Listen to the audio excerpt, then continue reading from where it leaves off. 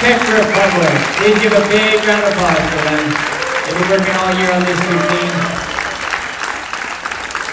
Tomas Tucek, Martin Sladek. Thank you guys.